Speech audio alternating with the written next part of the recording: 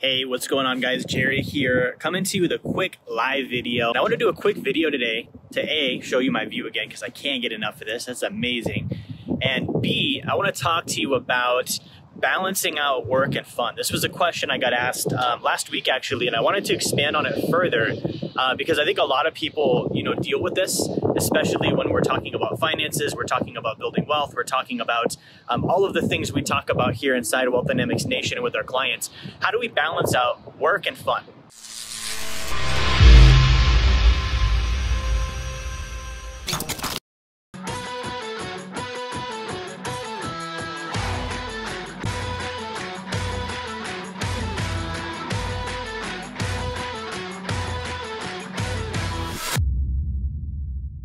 Now, if you would have asked me five years ago, I would have told you hustle, I would have told you grind, I would have told you work your face off, I would have told you put in 16 hour days. That might be necessary for some of us, but here's my thought on it. Okay. Everything we do has a purpose, right? So if we're working, what is the purpose of working? Usually it's to produce something, you know, in most cases it's income, it's financial means, right? So that's the first thing. If we're consuming, if we're playing, if we're having fun, which is an activity of consumption, we're also producing something. We're trying to create something. Usually it's relaxation or it might be memories or it could be, you know, a number of different things that we're trying to achieve through that. Okay. So the bottom line is my production has to outweigh my consumption.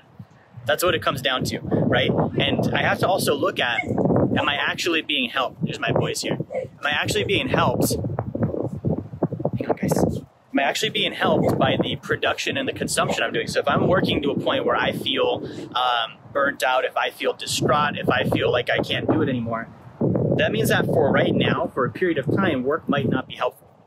Right, for me to continue doing that. It doesn't mean work is bad. It doesn't mean never do the activity again. It means I might need to withdraw and take a little bit of a break from the work and do something that's more of a fun cycle, a, a consumption cycle. Okay. Conversely, if I'm consuming and consuming, consuming, and I never produce anything, and I'm not earning enough income, and I'm not doing well with my finances, and I'm not, you know, getting a, a net gain of production over consumption, that means that consumption is no longer helpful for me in this moment. I need to stop producing and I, or stop consuming, and I need to go produce.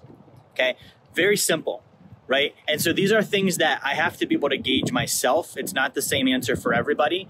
For me, what I've also noticed on this is this kind of the silver lining is the more um, you know, the more progress that you make on the blueprint of financial freedom, the more fun you can have with less work required because your income is no longer attached to your work. You don't have to sell, you don't have to trade time for money, you don't have to keep showing up. So, logical answer is, you know, obviously balance those things out, make sure that you always are in net surplus of production over consumption, make sure you're following the blueprint, make sure you're progressing along with your goals, okay? And then at the end of the day, if you become if you become financially independent using our blueprint to financial freedom, you don't have to keep doing work then you can just go have fun and, and create and do whatever you want to do. So I wanted to share that because I think a lot of us have a little bit of guilt associated with, you know, I consume too much or I'm taking a vacation or I'm spending too much time with family.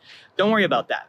Okay, worry about number one, is it helping me or is it hurting me? Number two, is my production outweighing my consumption? Number three, am I following the blueprint to financial freedom so that I can build financial independence so that at some point I'm not required to work anymore and then I have full control over my production, my consumption. That's all I've got for you guys today. I'm gonna be doing more of these live videos. Um, make sure that you guys tune in, um, comment, let me know what you'd like me to talk about next time. We'll just do short little snippets and I'll talk to you next time.